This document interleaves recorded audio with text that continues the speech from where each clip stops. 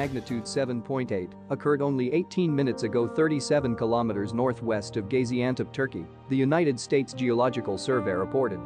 The quake hit at a shallow depth of 24.1 kilometers beneath the epicenter near Gaziantep, Turkey, early morning on Monday, February 6, 2023, at 4.17 am local time.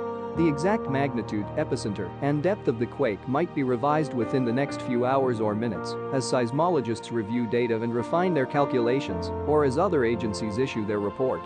A second report was later issued by the German Research Center for Geosciences, GFZ, which listed it as a magnitude 7.4 earthquake.